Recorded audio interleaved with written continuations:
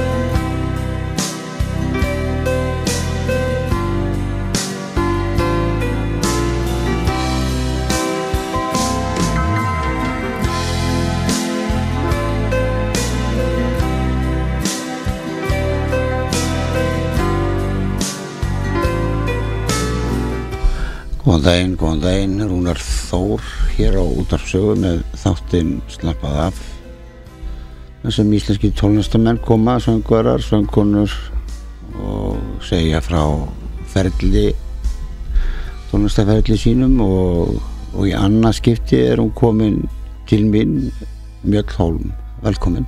Þakka fyrir. Hvernig hefur það? Ég hef bara mjög gott. Er það ekki? Jú, jú, jú. Alltaf að syngja, annars slæðið?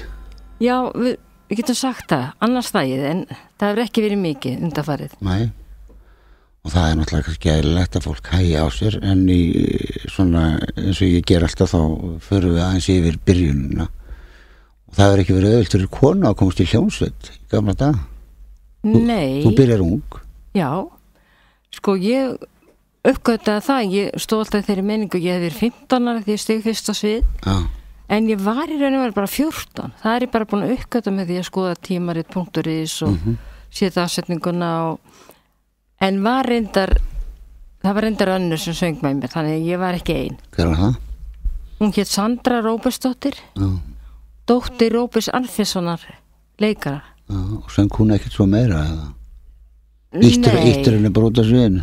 Nei, nei, nei, alls ekki. Ég er Nei. enda, ég með þess að kvarta hana alveg óspart. Já, En einhvern veginn leiðir okkar lágu ekkert saman svo mikið. nei. Hún voru saman í skóla og svo fóru við sikk frá skólan og Voru það að syngja rattaf? já, hún var mjög góð. Já, vinkonaðin bara. Já, Hvaðan ertu? uppalinn minnaru. Ég fættu uppalinn Reykjavík. Já. bara algjörlega og fóreldræðinni báður úr Reykjavík eða sko, nei, sko pappi hann er ættar frá Seyðsviði já, já, austan já, stoppið aðeins borðið strákar. Það glimur svo í fingraborðinu. Já, segðsfriði já bjóða Seyðsviði já, en mamma hún hún var ólst upp í Reykjavík já. í gamla bæðinum að brekkustík og hvað kemur hann til Reykjavíkur og kynnist henni eða fór hún austur? Það var þannig að þau hittust á Álafossi, voru bæði að vinna þar. Já, og í framhaldið því þá fóru þau á, á Seyðisjörð, byggu þar fyrst. Mm, og svo komið aftur til Reykjavíkur og aftur svo heima fluttu mikið, voru svona víða þau eignuðust fyrir rest nýju börn, já og hvað er þú í rauninni?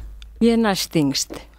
Nýju börn? Já, það var ekkert óalgengt að, að fólk var að eiga fjögur upp í og ég vil langamma mín þegar hún átti 15 börn held ég já, já, þetta er alveg rétt. Þetta var þótt ekkert, sko, ég segi það ekki þetta var mikið nýju en það var mjög algengt. 15 börn, 16 börn.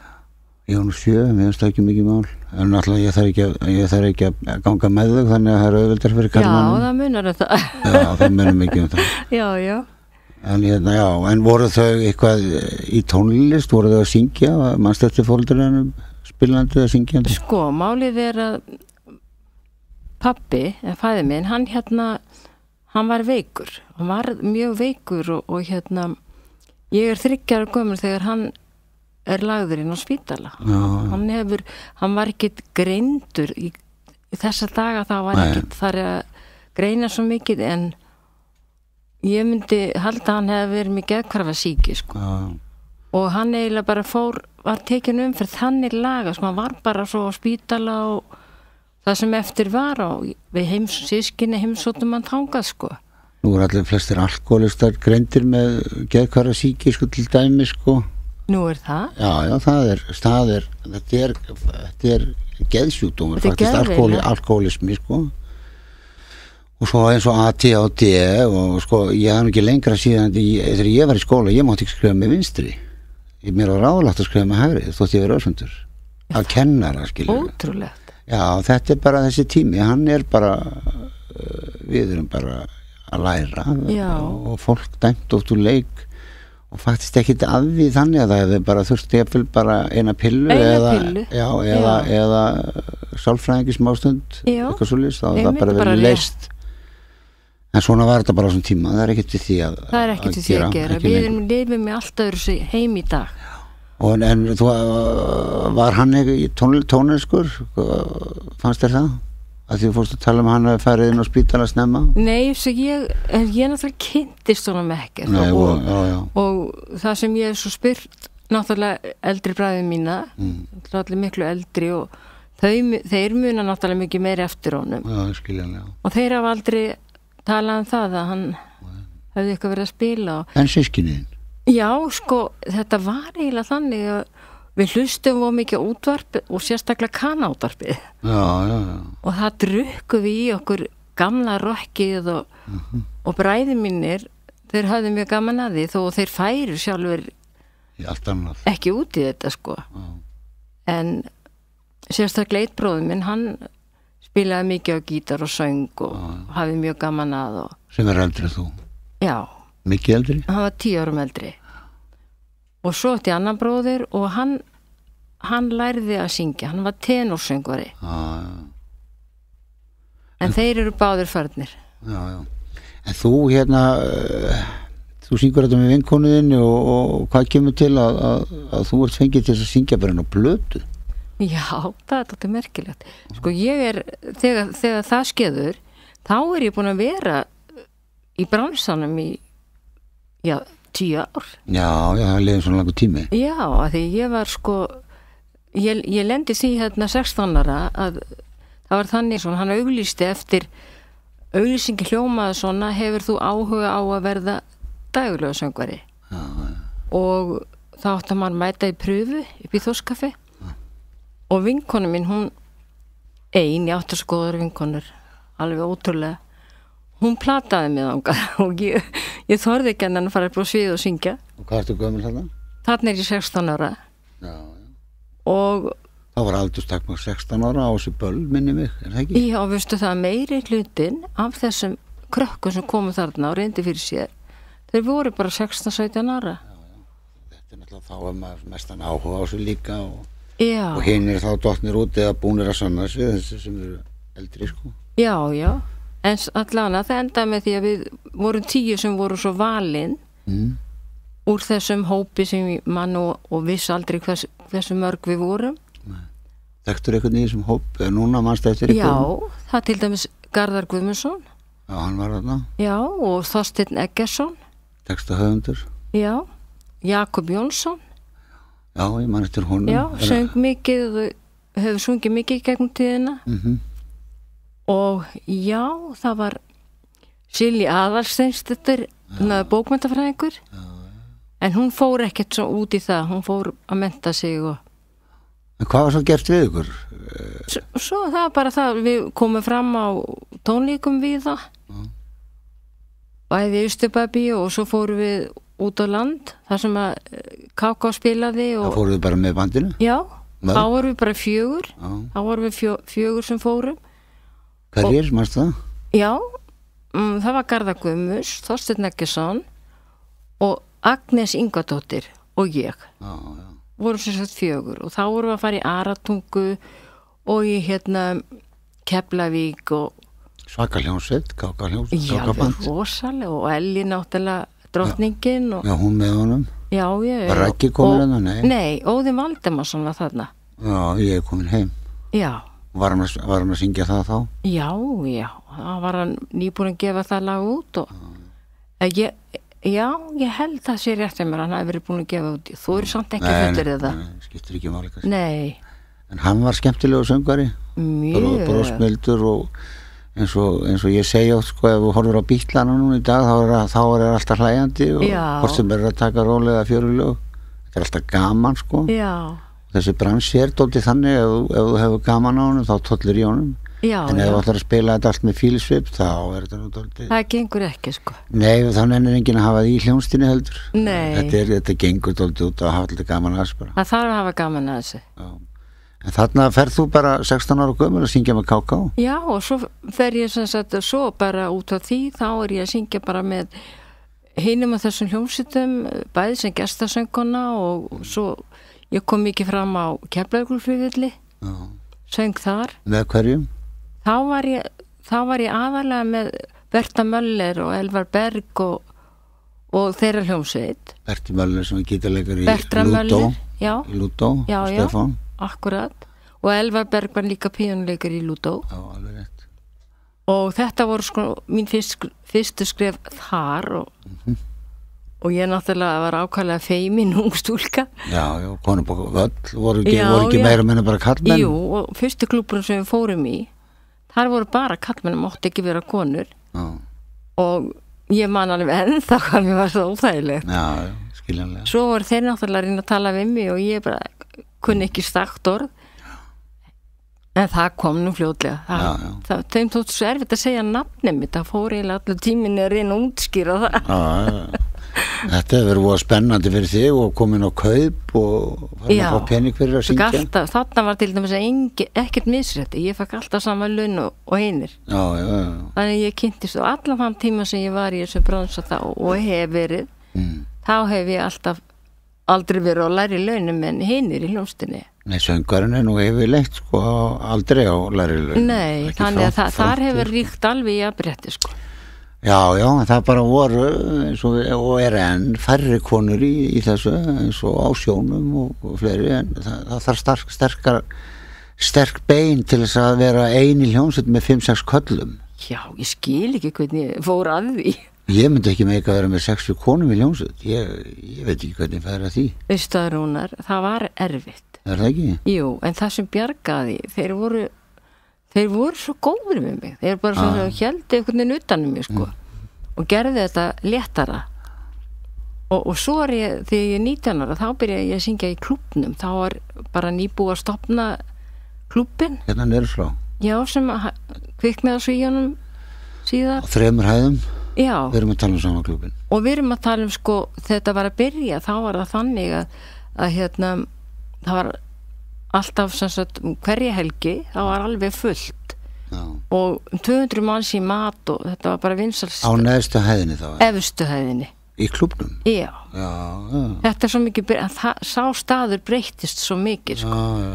fyrsta var þetta bara svo mikil klassi sko. Mhm. og ég var þarna að syngja sko sex kvöld í viku fast og svo stundum voru við sjö kvöld með hverju með hverju varstu að spila þá? það þá? var Magnús Pétursson píanuleikari, já, sem var lengi með morgunleikvimina eða þar sem hann spilaði undir. Mhm.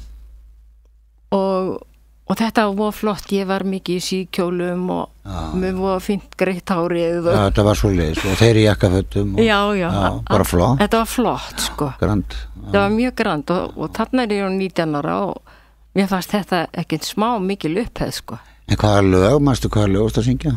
þar, já, sko ég reyndi mér langar alltaf að syngja það sem var í, í, í hérna, var vinsa alltaf sinni tíma og mér tókst að koma einu lagi að.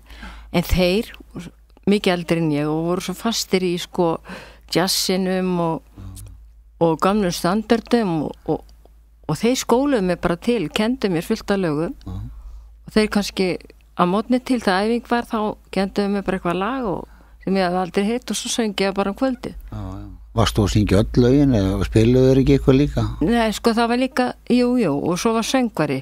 Já, að hérna uh, Rapp Pálsson. Já, já. Það er ekki vist að þú munir eftir honum. Já, það getur en hann er sem sagt, já, hann var alveg frábær, skemmtilegu karakter. Og hann var svona, þú veist, hann gat al, hann talaði svo mikið við fólkið og það myndaðist alltaf svo góð stemning, sko. maður þarf að gera það. Það var alveg æðislegt en ég viðkenni það alveg og, og veit að manna besta fyrstu árin og var kannski nokkuð mörg að þá var ég bara svo feimin Já. að, að ég kunni gat ekki verið ég sjálf. Gæstu ekki tala við fólki og... nei, sko ég gat verið búið sviði og sungið svo leiði ég fór af sviðinu Mm. og ykkur að það kom að tala við mig sko það bara, gæstu ekki tala við það. Bara fröys ég. Já, já, en svo smá saman það bara fyrir aður já þá fór ég bara að taka sjálf mig gegn. Og ég bara fór að læra þetta. Þetta er bara venilegt fólk sem er að hlusta á Já, mig sko. og ég hérna svo bara fór ég að geta að tala við alla og Já. þetta Fyrir bara réttlæðist það mér sko. Fyrir utan það sko að kannski 80% af fólki sem er að hlusta hefur faktisk ekkert vita tónlist. Það er bara ef þú, ef þú flytur lögin þeirra nokkur, nokkur, nokkur negin Já, þá er það bara alveg nóg faktist. Það er alveg svo er nóg. svona standa nokkur spekingar alltaf í hverjum sal en þeir eru hvort það leiðilegir það er ágætt að tala ekkert við þá. Þeir hafa svo mikið vit sko. Já, en hvað kannast við þetta? Það er svo uppteknar að sjálfum sér og að vita hluti. En svona svo fólk viti þeir sem viti ekki hver mjöll holm er þá er nú kannski gaman að spila fyrsta lægi sem að þú slóst í gegn með. Er þetta að gera, ekki rétt hjá mér? Jú, Jón er það- komin heim, Jú, jú, það er alveg rétt hjá þér. Hvernig kom það til? Það bara kom til að því að ég hef kom sungið í, í sjómanstætti Mm. og því miður er búið að taka yfir það þannig að hann er ekki til. Eins og svo margt annað margt segja þeir sko, ég Já. hef nú lítið vita á þessu og þannig. ég bara upp, upp úr því þá fæ ég bara skilaboð frá Svavari Gess um að ringja í hann. Já, já, og ég náttúrulega geri það. Og þá segir hann sko ég er hérna með lag sem ég langar svo til svo lustir á. Og það voru tvö lög. Það var Jónu komin heim og hitt. Og Ástaþrá þetta voru erlend lög. Bæði erlendlög og það er svo skrítið. Ég er búin að reyna mikið að googla og, og fara í gegn í YouTube og allt það sem hægt er bara í tölfunni og ég get bara ekki fundið erlenda lagið sko. Veistu hvað heitir? sko það hétt þegar ég fekk það í hendurnar þá var það á norsku. Og textin hétt ég er her igen. Ég er her igen. Já, já. Og kemur það ekki upp þú slærði inn nei ég er búin að reyna þetta. Láttu manniðin í þetta hann, Júli finnur þetta. Já, við erum bæði búin að reyna sko. Já, En ég, ég vona að koma að því. Það var svolítið gaman að heyra. Það verður gaman að heyra þá. Og já, það hefur verið gaman að heyra bara núna þess vegna sko. En uh, þú sem sagt ferð og syngur þetta nýri út á súsið ekki? Jú, jú. Og þannig þú erum hvað, 19 ára? Nei, Nei, nei, ég er 26 26 þarna. Já, hlustum á Mjöll Holm syngja smellin sinn, það er alltaf eitthvað lag sem tengir tengist við, við hérna eigandan, þetta er nú áttu þetta lag Þetta Já, hérna, já, allavega í Íslandi, það gerir það ekki betur en þú. Það er ekki hægt, því að þú gerir það eins allt. Hlustum Já. að Jón er komin heim með mjöldurum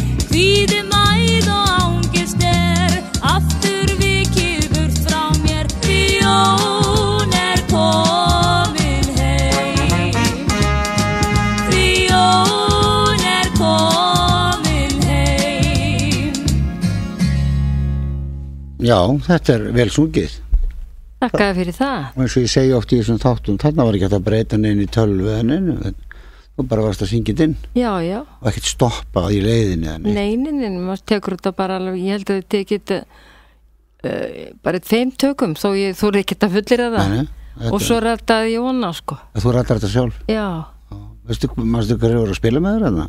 Nei, sko, þetta er nefnilega, Trompetin til dæmis Já, þetta var grunnur sem þú fegst þe- þetta er bara, Þetta eru nor normenn já, þetta er bara keift, sko, Normenn er er dálítið segir að, að, að búa til svona einfaldar og góðar melodíu já, þetta eru góðir stúdíumenn og þetta er Já. mjög vel gert. Þetta er vel spilað Og þetta er nefnilega, já, það er bara einhver skemmtileg svipla í spilinu. Já, já, létt og skemmtilegt Já. og ég held að Björgun Halldórsson hafi fengið hérna þó líði ár og öld ég held að hann hafi fengið bara svona undir spil á því lagi held ég. Já, ég held það líka. og þess vegna fannst manni oft svona þegar svona byrtust íslenski textar og góði söngvarar eins og bara þú og Björgun og fleiri þá og, og með svona gott góða hljóðfæraleikara þá, þá bara virka þetta. Þetta virkaði, já, og tónlist er þannig að hún þarf að virka það er ekki það er ekki hvað að spila marga nótur og, og hvað röddinir skelfur mikið eða eitthvað nei, nei, nei, heldur það er þetta bara að virka akkurat. það var skeiðið þarna en þú ert ég ég, nú, ég sá þig nú oft auglista varst ekki ekkert í hljómsið Opus Jú, jú, jú, jú. hverju voru þar? Sko, ég, þegar ég hvað árið það? Já, þegar ég byrja að syngja með Opus fyrst þá er það uh, 70 og nei, byrju Jú, 74 Ah. já þá ertu búin að vera í fleiri hljómsdum undan ég kannski stakk úr Já, já, ég er bara, sko ég raun og mjög, ég þarf að fara mjög hrætt ef ég ætla að fara yfir allt saman já, vegna þess að ég hef búin að vera í sem sagt eftir ég hef við með hljómsveit Elvis Berg þá, þá stóðnum við saman hljómsveit, nokkur saman og, og hún hétt B.J. Kvintitinn Mm. og við spilum saman þó nokkuð lengi. Svo hættum við að spila og, og þá ske, skeður þetta að Svavar hefur samband við mig. Þannig að þá er ég svona á milli hljómsveita sko. Já, já. Og svo sagt eh, tekið þarna bara pási og, og svo setni diskurinn kom svo ári síðar. Svo fljótlega upp úr því þá fer ég að syngja með opus og þá, þá var það bara þannig að það var svolítið skemmtilegt að þeir voru, voru að spila þetta voru svona unglinga hljómsið þeir voru sko ára yngri en ég þessi strákar. Og þeir voru mjög vinsælir og þeir spiliðu sko bara hér og það og, og, og fyrir unga fólkið og, og svo er hringdi mig eitt kvöldi þá er einn í hljómsdyn sem hringir og segir já, okkur vantar söngkonu svona til að trekja að sko í þóskafi sko á, á miðvikudögum og bara í þóskafi sko til að fá svona eldra fólkið. Já. og þú fáfenguðu mig og, og Rúna Georgs á saxofón. en svo bara endaði með því að ég er bara ráðin alveg í hljómsdina Í þóskaði já, með þessum strákum. Við vorum ekki að spila í þóskafum helgar. Já, ok. Þá bara spilum út um allt og höfum nóg að gera. Þú veist að tala um klúbbinu að að þetta hafi verið svona kannski örfis í staður fyrst að þetta mér hvenær opna glæsibær Nei, hérna glömbar, veistu það? Er hann ekki opinn þá? verið, Jú, þegar, sko, þegar á þeim tíma sem ég er að syngja í klúbnum í fyrsta skipti Mm. sko þá er búið að opna glömbæ Já, og ég var að því ég var alltaf við upptökin að syngja um allar helgar þá fór ég svo sjálfnáðangað en það- hve- hvenær allir glömbar að, nei, að hafa opnað? Glömbar hefur sennilega opnað alltaf ekki 62 ég giska á það. Fyrst, Og- þetta, það hétt Storklúburinn Já, sko þetta var búið að opna húsið og það var rekið. Mhm. og þá hétt það Storklúburinn og svo breytist það í, í glömbæ já. sennilega orðið eigandaskipti Klúbburinn er kannski þá undan sem slíkur já þeir allan er á svipiðum tíma. Já, þetta er rosa ég þór ekki alveg að segja það hvort hann hafur undan. En þetta var á svipiðum tíma. Menn voru líka mikið að spila nýra Hotel Borg og svo var gamla þóskafi þú var, varst í þessu þóskafi hérna fyrir ofan okkur eða varstu nýra á var ekki ná hverju skötu?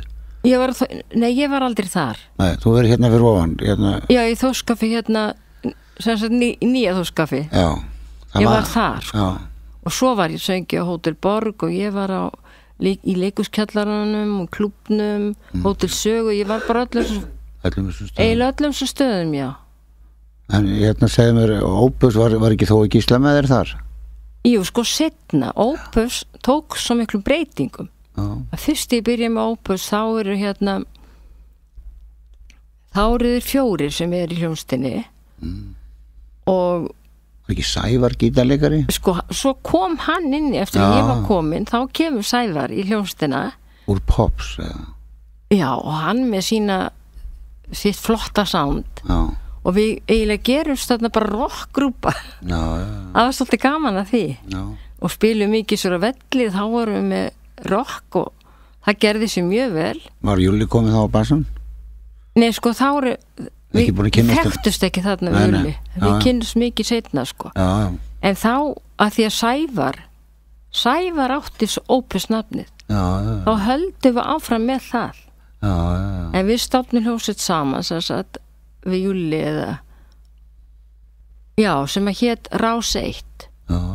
og við spilum mikið sko að- í klúbnum, spilum þar allar helgar Það voru þrjá, tvær eða þrjá hljónstur alltaf í klubnum. já, já, já ég má, má segja það svona yfir heildina þá hef ég mest verið að syngja í klúbnum en ekkert allt með sem hljómsveit það er bara alls konar Já, já, þú verður, já, svo náttúrulega söngunum getur hleypa á milli. En nú er að koma að auðlýsingum mjöll og við ætlum að spila hina hliðin á Jóni komin heim. það mér líst vel á það Er það ekki? Jú. Það er tveggjalega, þetta er tveggjalega blöta já, og lægið heitir Seg eða Saglus. Nei, Nei. Ástaþrá. það heitir Ástar þrá Já, já, já, og það er lag eftir Chris Andrews og heitir á frumalunni Pretty, Pretty Belinda ég veit ekki hvort að ég hef heyrt það, það er gaman að heyra það. Svo förum við í auðlýsingar og svo komum við aftur eftir auðlýsingar, ég og Mjöll Holm. Hlustum á Ástaþrá með Mjöll Holm.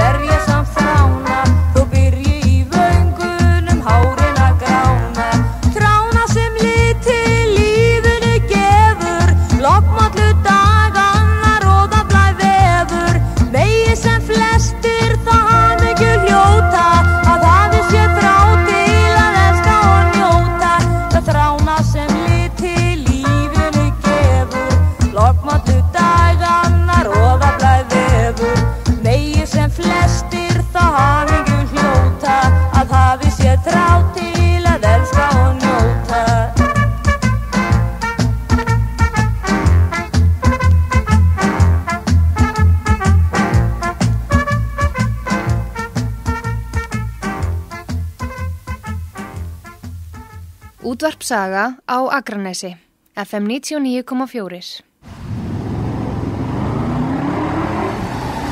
Ertu búin að skipta um tímareimina? Eða ætlar að býða hann til hún slitnar? Þú veist hvað gerist þá? Drifið nú til Nikolai og fáðu nýja tímareim og fría vélastillingu með. Ekki missa af þessu, drifið þig núna. Nikolai, byrjaðarstillingar, faksa fyrir 12. Sími 588 24 55. 588 24 55. Sólbrunkufestirinn Bananabót Aftersun Lotion er vinsalasta bodylósun á Íslandi. Það bætir húðinu upp efni sem hún tapar í sundi, sólbaði, busli á sólaströnd og viðheldur æsku ljóma húðarinnar. Sólbrunkan endist 6-8 vikum lengur. Þú far sólbrunkufestirinn Bananabót Aftersun Lotion og gula frút á því örð egelið í apotekum. Handunar kryddvörur án aukaefna frá pottagöldrum. Allt krydd er reynsað með prímapúra gufumeðferð. Vandaðar vörur frá pottagöldrum. Garðs Apotek, engareikið apotek í yfir 50 ár. Lágt livjaverð, góð þjónusta. Garðs Apotek, sogavegi við réttarholtsveg.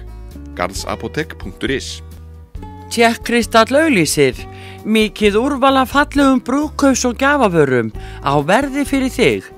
Tjekkkristall, laugavegi 178.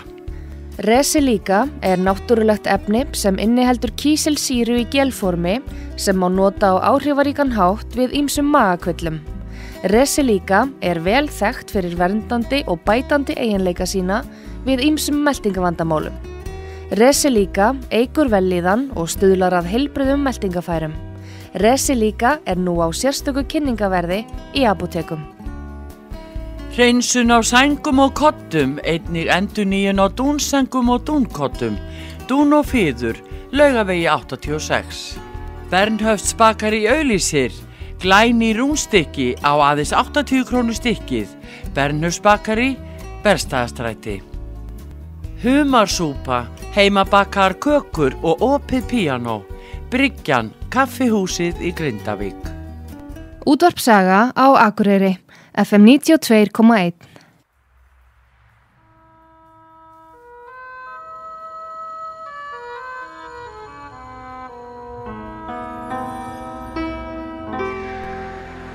Tveir þjóðlegi staðir í gisting og mat standa þétta baki rúnari þór við að kynna þá tólistamenn sem í þáttinn koma.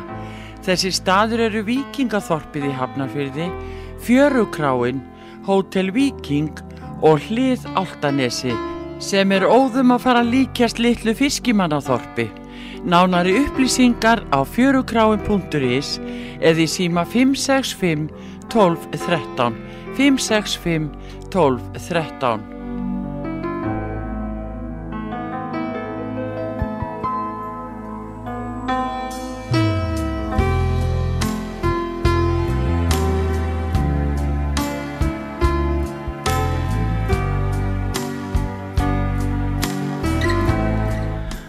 ég er hér í ádarsögu og, og gestur minn í dag er Mjall Holm söngkona.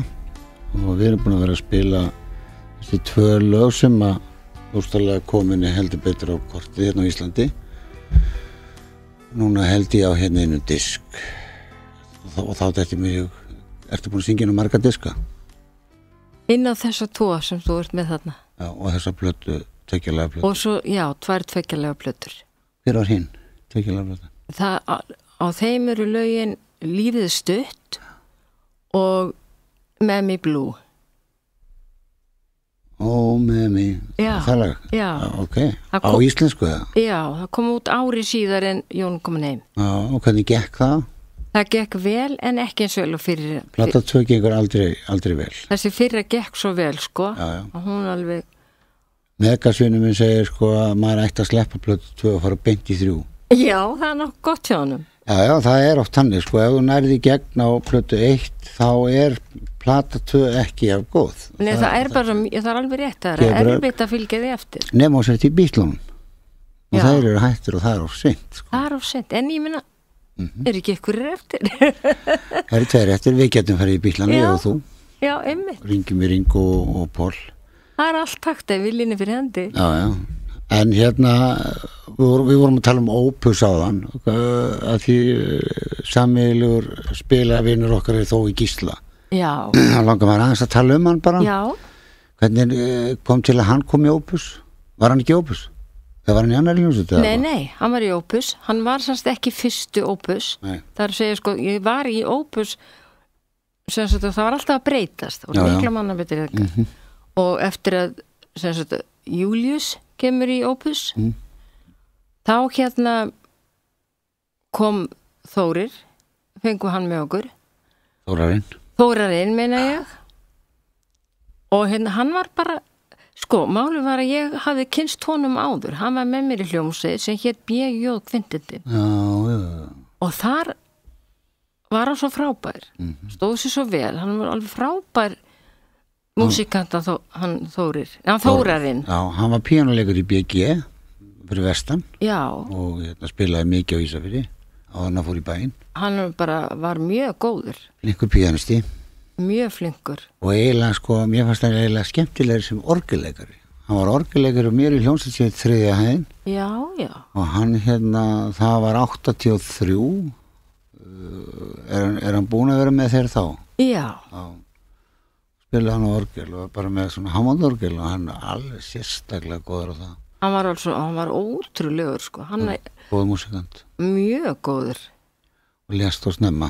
Já, hann var þannig, það var ekki hægt hann að láta sér þykja vendum hann. nei, Það var svo góður strákur. já, já, mjög fín enda, frá Ísafiri eins og maður segir alltaf. Já, já, bara því. gott fólk það. já, ég bara besta fólki frá Ísafiri Já, hann var sem sagt með þér hérna í Opus. Hvað skeður eftir Opus?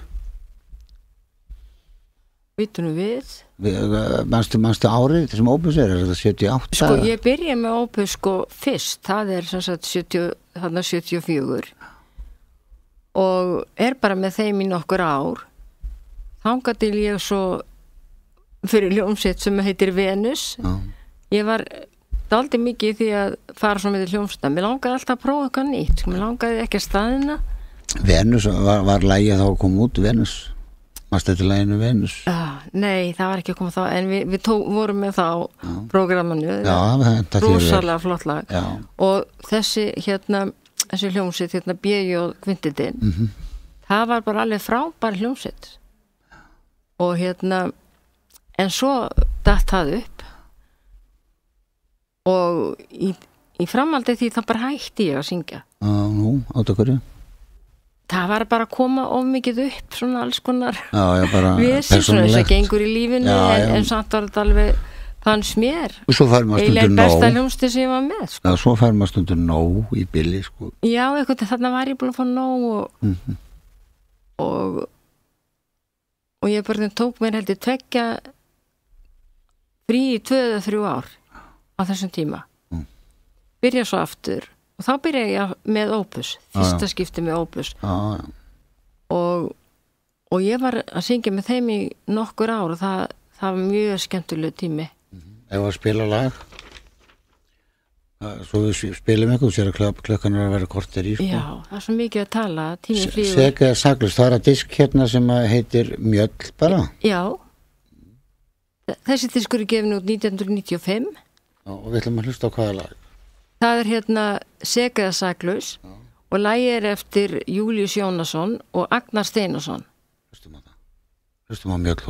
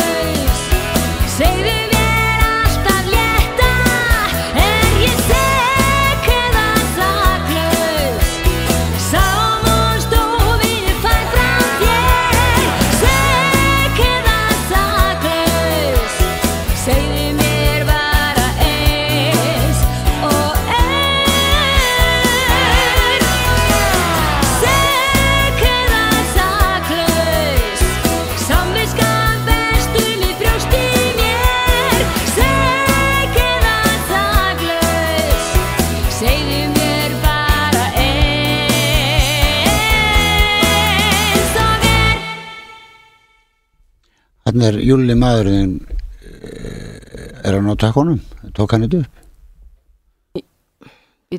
Nei, þetta var tekið upp í stúdíónu hjá honum hérna Axeli. að Axel Einars, Já, það var fínt stúdíó, stúdíóstöðin. Já, mjög fínt. Þetta er með Sigur ekki Sigmurs og gítar. Hann var nú búin að spila segur með Eika Haugs. Og Já, nú, og nú er að koma yfir í, í, í kvennmannin Sekaða Saklus akkurat.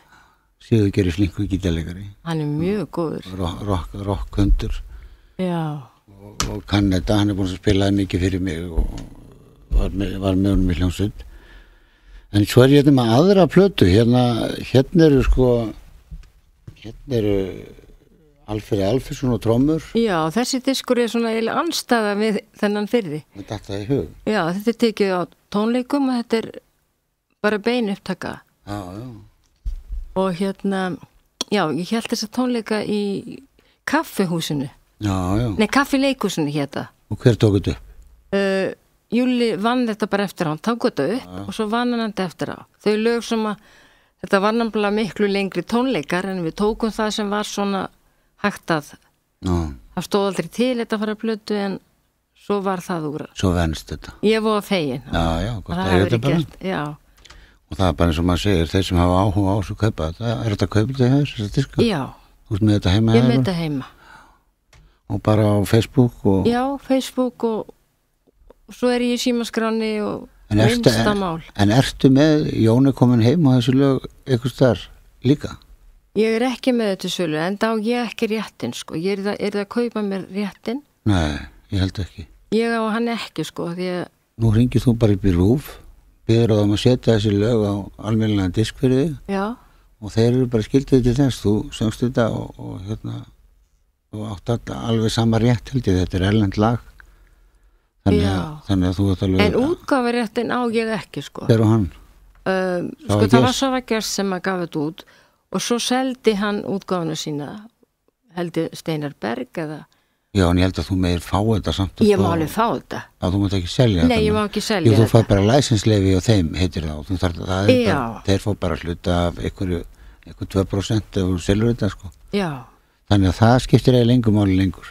Nei, þetta er líka orðið það gammal sko. Já, þetta fólk er gaman að sumir er gaman að eiga þetta bara. þetta svona hluti af, af, af tónlistasögu Íslinga þetta lag og, og lagi hinnum en ég var bara að gleyma því en myndi eftir í strax. Já, já, það, það var líka mikið spilið en það hefur aldrei verið endur útgefið eins og Jón komin heim Maður, þess vegna hefur Jón lifað lengur sko. Já, Jón lifir enn. Hann lifir endalaust. Já. En þú sagðist að tekið frí í hvað, tvö ár, tvö, þrjú ár og fara þá í Opus? Já, það fer ég opus. Og hvað skeiður svo?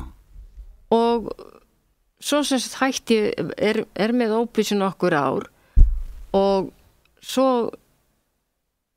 stofna ekki ég stofna ekki sjálf. Við vorum okkur saman sem stofnaði hljónsveit sem heitir Venus okkur Venus. Það var líka mjög gott band.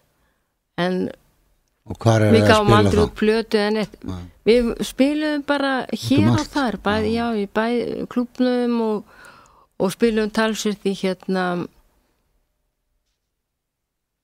er bara alveg stóli Manstu hvernig klubnum var lokað? Eða hvernig var kviknaði hann? hvernig brann nei, ég man ekki, ég man ekki ártalið Voru enga sögur um að hafa verið kvikt í honum eða hvernig var það? Ég misti alveg að þessu. jú, ég held að það hafa verið eitthvað sko voru einhverjum sögur um það en það var ekki nöfnend sko, þannig nei. heyrði ég það ekki sko Nei, glembar brennur, klubburum brennur. já, er merkilegt Já, já, þetta er svona þetta verður alveg farið fram hjá mér. Ég hef verið að skemmta mér og meðan uh, þetta hefur gengið á, annars hefði ég forvittnast meira um þetta. Já, en hann er ábyggilega, sko, þetta er ábyggilega ég man að ég, ég fór að spila þarna minna með 86 7 getur það verið. Í klubnum já, í kellarannu þar. Já. það var búið að breyta þessi í einhverja, þungaroks.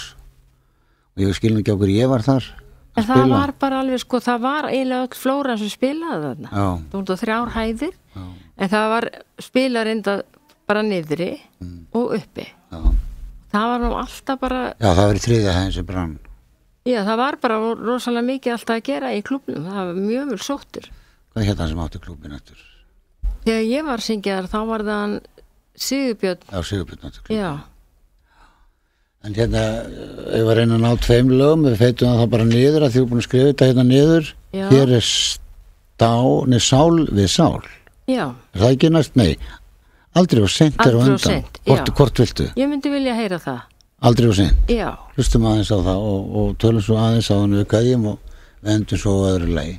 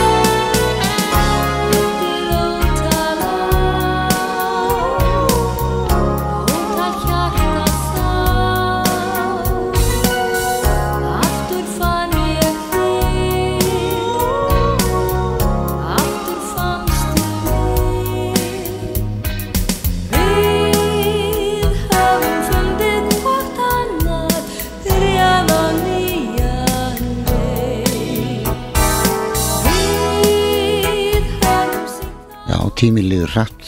Við erum hérna bara, næstu bara búið með þáttinn. já þetta er ótrúlega. Já, þarna er sonurinn og, og maðurinn Júli. Já, Þeir semja þetta lag. já, já. Og er, Og er Agnar gerir textan. já, hver er Ragnar Það er sonu minn. líka? Er það sami? Það er sami. Já, Já. nú sé ég þetta betur. Og hann semja textan. Já, Og helmingin á lagin. já. Eða þeir semja lagin. Við sem alveg saman. Og hvað er mjög tólum að gera í dag? Ég hef, hef það bara gott heima. Já, Ég er náttúrulega hægt að vinna daginn, maður er komin á bestu aldurinn, sko eins og sagt er. svona frílaun. En ég sem sagt hef alltaf nóg fyrir stofni og læt mér aldrei leiðast. Er, er þetta panta mjög tólum ykkur starf? Já, það ætla ég að vona að verði gert. Ég er sko alls ekkert hætt. Þú ert alveg tilbúin? Já, og ég er meira sem búin að syngja. Það er ekkert svo lásið ég söng og það gekk bara mjög vel. Já. Og það er bara eins og ég sagði á hann og það er hægt að fá diskana hjá þér á, á Facebook og, og bara ringið. Og bara ringið mig. Ísland er nú ekki nema bara smá lítið þorp. Fólk, það hefur ringt í mig fólk og Já. giftað mig diskana. Já. Ertu ekki með það í búðum? Uh, nei, sko, það lítið um það. Þeir eru með ekki á músik og myndum. Já.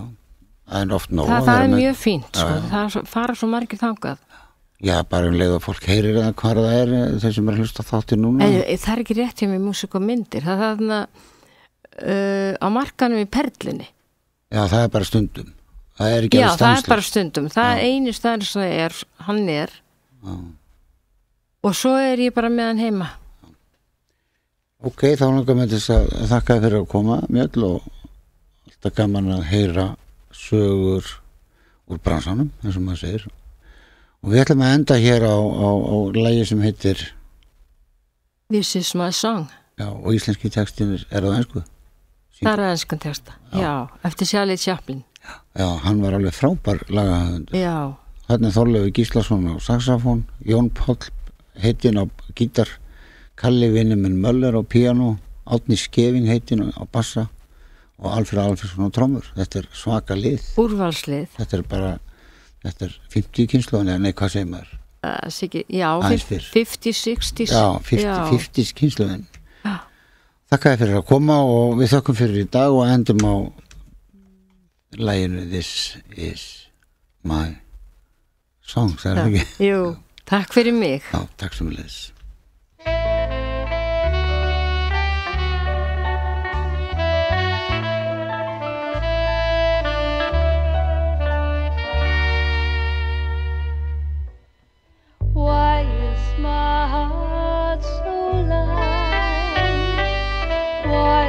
the stars so bright? Why is the sky so blue? Since the hour I met you, flowers are smiling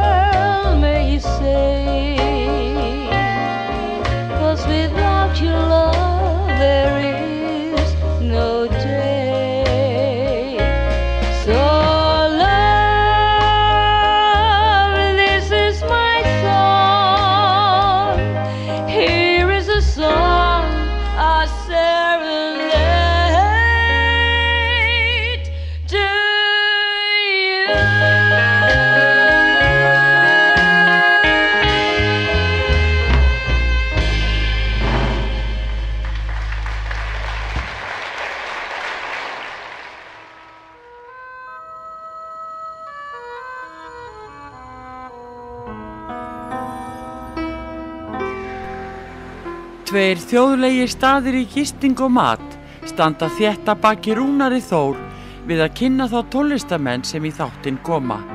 Þessi staður eru Víkingaþorpið í Hafnarfyrði, Fjörukráin, Hótel Víking og Hlið Áltanesi sem er óðum að fara líkjast litlu fiskimannaþorpi. Nánari upplýsingar á fjörukráin.is eða í síma 565 12 13 565 12 13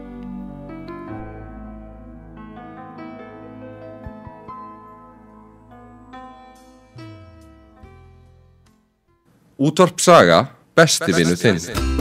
Ertu tilbúin fyrir hraðaspurningarnar? Já, skjóttu Hvað kom í staðin fyrir 118? 1819 Rétt, hvert ringjum að til að fá upplýsingar um símanúmer? 1819 Rétt, hvað, hvert, eh, hvert er ódýrast að ringja? 1819 Rétt, eh, hver var kosti stjórnmálamæður ásins? 1819 Nei, nei, þarna varstu gómaður 1819 ódýrar að ringja svo um munar. Rétt. EM tilbúð í Veslurum Bakarameistarans í dag. Bakarameistarinn með þér síðan 1977. Þegar þú ert að pakka niður fyrir útileguna er nöðsynlegt að hafa forgangsluðun á hreinu. Ekki gleyma því mikilvægasta. Hvar er sósan? Ef Finnsson gerir gott betra. Komið í friðin og sveitasæluna hjá okkur. Hótel Bjarkalundur. Bjarkalundur.is Hellur hreinsun auglýsir. Eru hellurnar óhrein gróðrastía? Við hreinsum og húðum. Hellurnar verða sem nýjar. Einnig hreinsu við minnstusteipu og lökkun. Þrýfum og reikbindum gólf í bílastæðuhúsum.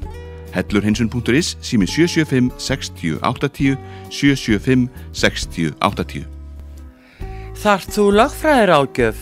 Leitaði til sérfræðing á sviði lögfræði.